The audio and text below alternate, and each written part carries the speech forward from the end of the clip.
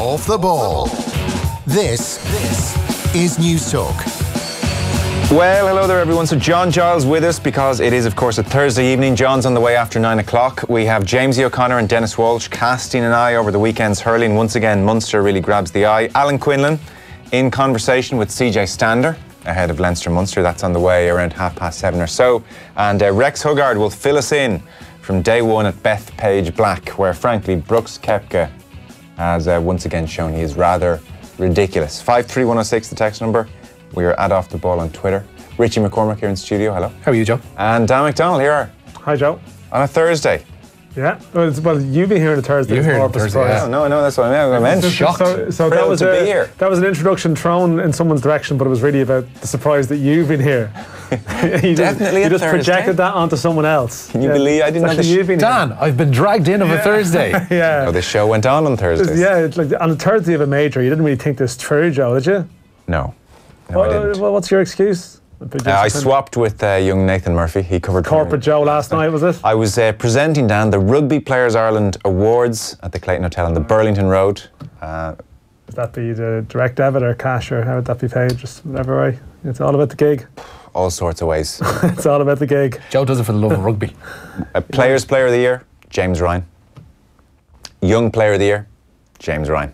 Did you get the balance right between, you know, that sort of gentle style from the stage, making people laugh, making the guests feel comfortable, the interviews? Did you, know get what? it right? I, I, I was um, I was very quietly and cautiously happy. I think it was very good. Joe Schmidt did uh, about ten minutes on stage. What's stand up like? We were kind of we, we were sitting down. I said at the start. We we literally looked like the world's worst boy band. We were sitting there in our little Westlife stools. Uh, but he was in fantastic form, and it- I think it's on Virgin, it's on Virgin Media One at ten o'clock on uh, tomorrow, Friday. And he spoke brilliantly about his son and, and just one or two anecdotes which were really powerful and kind of. You, Okay, hear- so it was actually being broadcast. It's slightly different to a more private awards, to, as such. You know what I mean? Where you can take a few more risks with stuff and. cameras on. It wasn't live, obviously, so you could kind of josh around a little bit and have a bit of fun. No, it was good. It was really good, and um, uh, Schmidt was really good. Conor O'Shea was inducted into the Hall of Fame. He spoke brilliantly. You know, he was remembering his late father, um, who had passed away, obviously, um, not so long ago, and he was remembering his first cap, looking at his father as he sang the anthem. You know, it was kind of really amazing memory. And Jack Carty talked about, you know, his cousin who passed away a year ago, and how that's had a profound effect on him. He won the Supporters Player of the Year. So they were all um, they were really good. Uh, Rob Kearney had to come and accept uh, Jacob Stockdale's award for try of the year against New Zealand. He was like these bloody young kids. They come along, they're younger, they're fitter, they want to take your place, and now I'm accepting his award for try of the year. So uh, it was good. Meanwhile, Dan, you were saying I didn't want to bother you outside because you looked like you were uh, finishing off some work. You were at a couple of the under 17 games. Well, yeah, I went to some. I mean, I mean, I, I, I'll write something about it in due course. I was just trying to get. I mean, trying to see some games because some of like Europe's best young footballers are in Ireland at the moment and have been in Ireland over the last couple of weeks. And obviously, looking there's, there's other stuff going on with the FAI, so probably haven't seen as much of it as you would have in, in another year. You know, so um, I got to see a couple of games today. Um, Hungary, Belgium earlier on in Tolka Park, which was like a fifth place playoff, but the winning team goes to Brazil for an under 17 World Cup later in the year. So there was a penalty shootout to decide that. So, you know, the Hungary players won the shootout and they're celebrating going to Brazil at the age of whatever 16 later in this year, which isn't a bad old gig. And then there was a semi final in, in Belfield this afternoon between Spain and Holland, both of which uh, are, are pretty good both teams are pretty decent, and the Dutch won. Uh, they got a last minute goal to go through, but I obviously missed it because I was coming here. But uh, but they're, they're they're a good Dutch side, and then France and Italy are playing tonight, and I, I gather the French are, are very good. I saw Italy play the other day, so I mean it's just strange. Like you know, there was a key. You know, you, you wonder. You, you hold on to these team sheets, and in years to come, it might become very significant. There was a Ki-Jana Hoever playing for Holland today, who was already been involved with the Liverpool first team squad Oh, in a cup game played earlier against this Wolves, year. Yeah, earlier this year. There was a guy playing for Inter Milan the other day, uh, Esposito, who who played in the Europa League round of 16. And um, I think he was the first ever 2002 player to like be involved in a senior European uh, club tournament. So he was involved the other day. Um, you know, a couple of highly rated Spanish players today. So I think the, you know over time you'll you'll sort of remember some of the names that were here. There's a guy playing for France who's already broken the tournament record with nine goals, and uh, there's only, and uh, Aouchiche is that I I'm not sure about the first name. He's PSG. So, uh, but like, like it is, uh, you know, you, look at Hungary today and you see where these players playing. Um, I mean, some of them are at decent clubs. Some of them are, are modest enough Hungarian clubs, and you're trying to get a handle on development and style and where they're at. And obviously, our team got knocked out, and maybe there would be a feeling that this Irish under 17 team, they're slightly later developers. They mightn't be like a great generation um, in terms of that their youthful promise, although in time to come, you never know. Uh, whereas our current under 19 side, who go to Armenia in the summer, are very highly regarded, and that team have met inroads at first team level. So you never know. Like there's big hype around these players, a lot of scouts, a lot of people. I think Seamus Coleman, I think I know, I think Seamus Coleman and Sean Williams and Alex Pearce, a couple of the Ireland senior players, were at the, the game in Tolka, obviously doing a bit of homework to do with badges and licenses and stuff like that. And uh, there were scouts from Manchester United there at the, the game in, in Belfield, and you're trying to piece together who all these people are. So it's been a good competition, um, and, and certainly in years to come, will be people will be claiming they were there at games that they weren't actually at.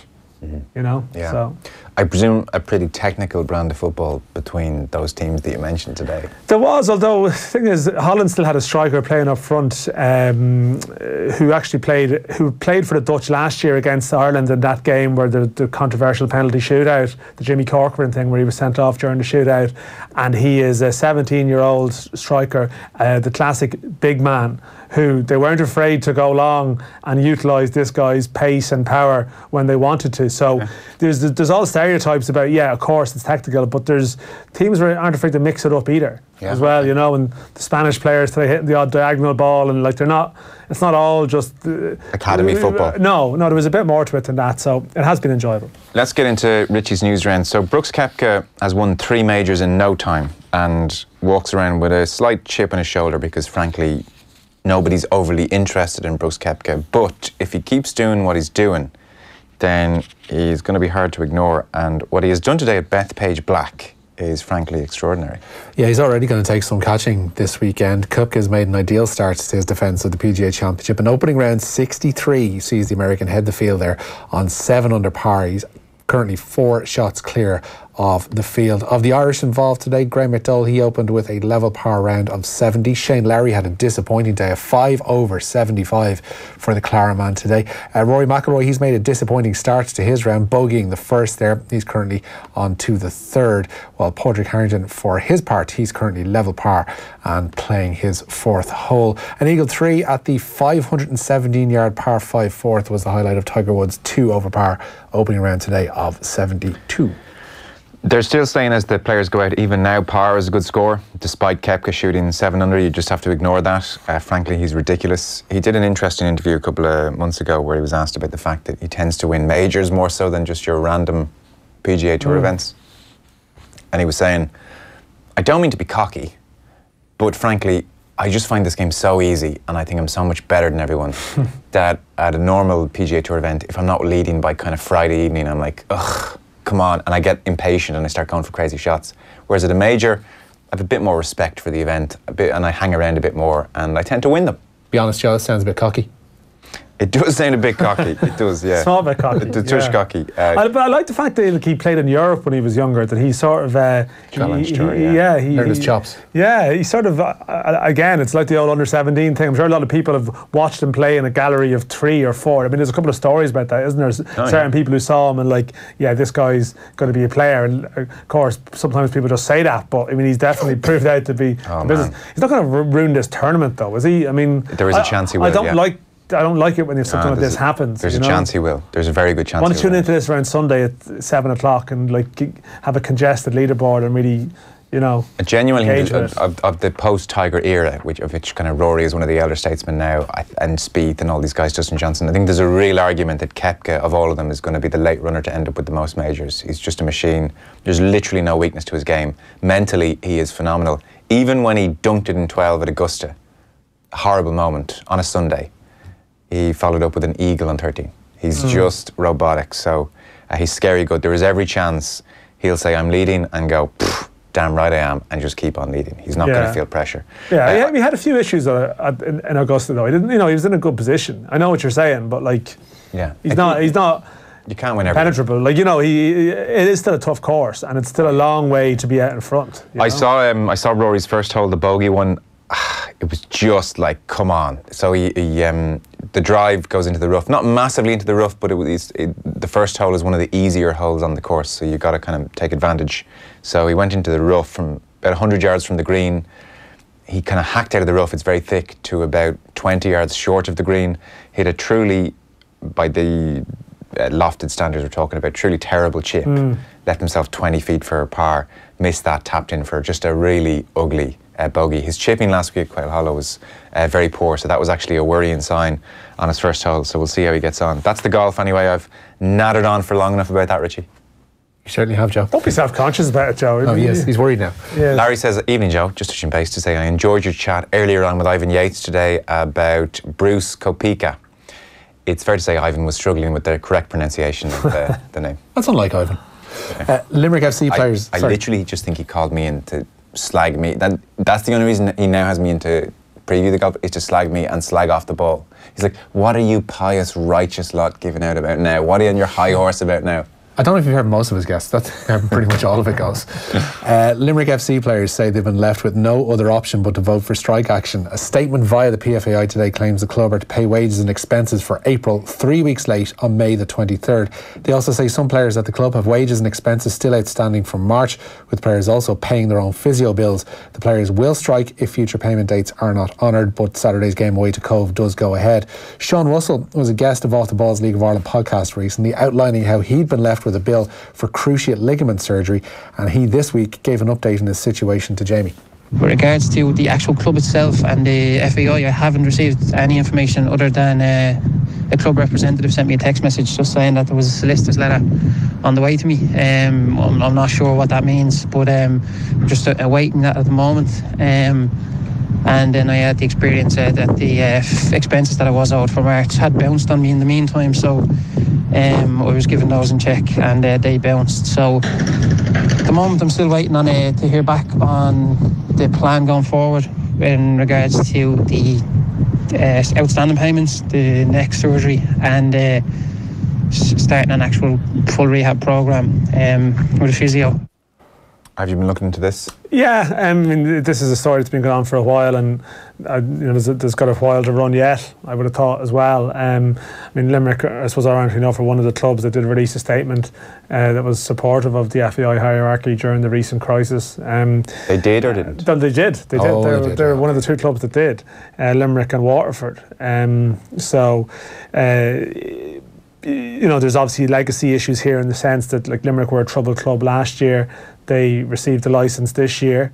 Um, and yet, within a short space of time after receiving the license, they've met uh, with payment issues. So that that doesn't just reflect badly on them; it reflects badly on the overall governance position of the league. So, um, in another year, at another time, this is probably a bigger story, just in the sense that you know this would be the, the major major football story of the time, whereas almost now it's just been lumped Yeah. into everything else that's going on. There's a lot of various things going on in Irish football at the moment that in another time would be a crisis in themselves, but now they're almost getting lost in the, the bigger picture because we're, we're resetting everything right now. We sure are. Man City then? Yeah, they say an investigation into alleged financial irregularities at the club contains mistakes, misinterpretations, and confusions. The Premier League winners have been referred to UEFA's club financial control body to decide if they'll be punished for those alleged transgressions. City are accused of disguising millions of pounds worth of their own owners' investments as sponsorship deals, and they deny all charges. The statement from City today claims the referral ignores a comprehensive body of irrefutable evidence provided by Manchester City FC to the Chamber. Uh, Jacob Stockdale, he's been named at fullback for Ulster's Pro 14 semi final meeting with Glasgow tomorrow night. The Ireland international hasn't played since last month due to a hamstring strain, while Louis Ludik is also fit to start. He starts on the wing, with Rory Best skippering the side from hooker. Bernard Jackman was on this morning's OTBAM, looking ahead to Saturday's semi final meeting of Munster and Leinster. And the former Leinster hooker says the recent form of both Conor Murray and Jonathan Sexton may not be their own fault. I think Johnny hasn't played enough to to judge him. Obviously, he was very good against Toulouse, um, and then he hadn't really played until uh, we saw him against Saracens. You can't judge. I don't think can judge Conor Murray or, or or Johnny Sexton too much this season because unfortunately they've been behind teams, uh, packs who've been beaten up. Not set piece wise, but in general play, they just haven't been getting over the gain line. They haven't been creating light and quick ball, and they're getting absolutely smothered. And um, I think it'll be interesting this week because Um, you know, they're very similar teams in terms of power output. Um, and Leinster historically have been able to get the, the win the battle of the breakdown. Bar that game against against Munster in in, in Thomond.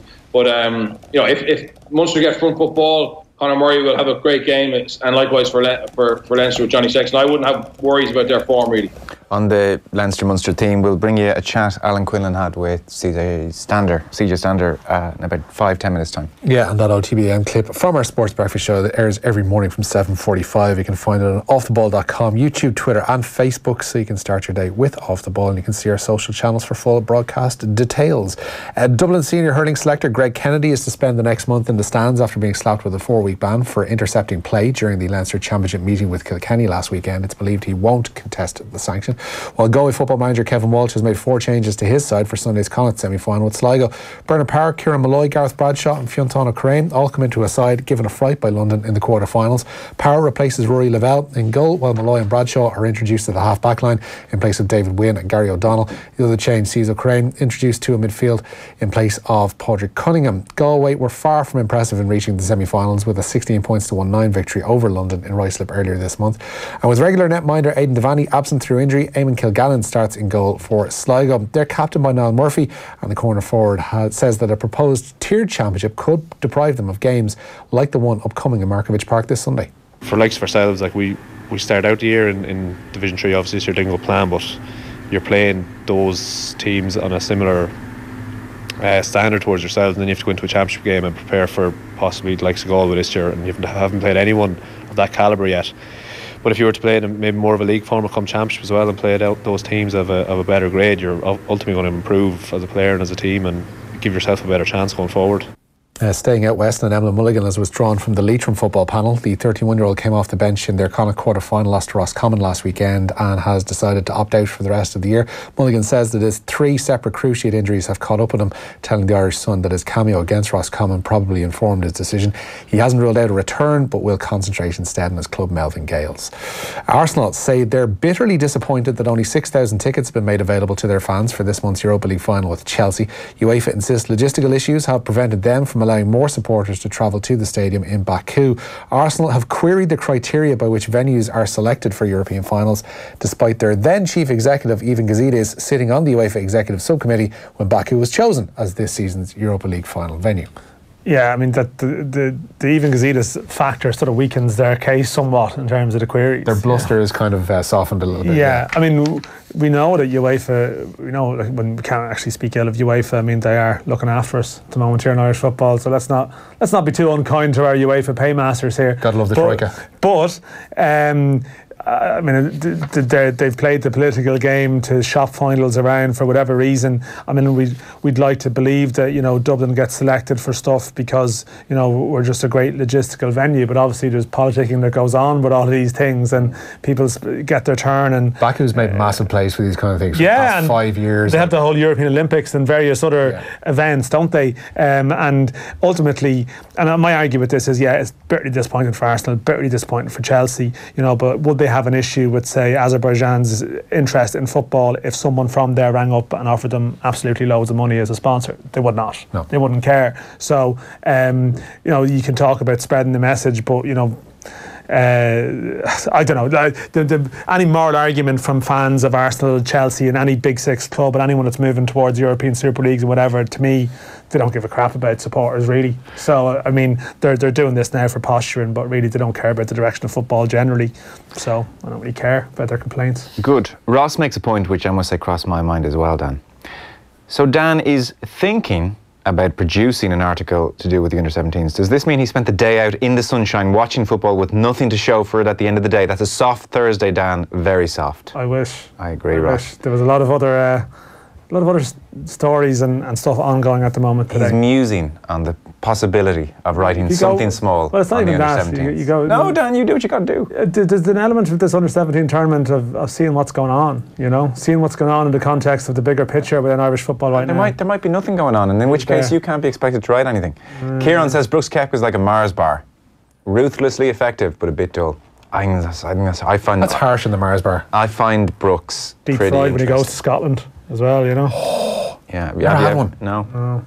Have you? Will- Absolutely willing to try, but never have one. No, never. If anybody wants to provide a Batter Mars bar for the off the ball crew tonight, we are available for Batter no, Mars bar no, offers. don't do we that. are, Joe. We're not. We are. Most of us are. Uh, Bruce- Travel well, it's There's lads out there haven't eaten in days. Brooke, yeah, Brooks Koepka is actually interesting. When you, he's what he is is uh, like you know the way Tiger's like nerd turned alpha male weights, but he's actually you know he was very much a nerd as a kid and social outcast.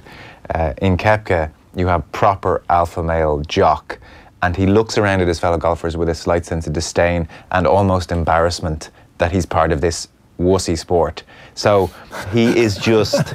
The words of Joe Molloy. Don't be so harsh on yourself, Joe. he is just kind of swaggering out there with his cowboy walk, and he wants to literally beat the crap out of all of them. And But I was- find it fascinating. Was there a bit a- of post Ryder Cup like salacious gossip involving Brooks Koepka as Him well? and DJ went at it in a plane. Yeah, and then but then they denied it. Like he wanted to be interested, and then there was an interesting story, and then he like.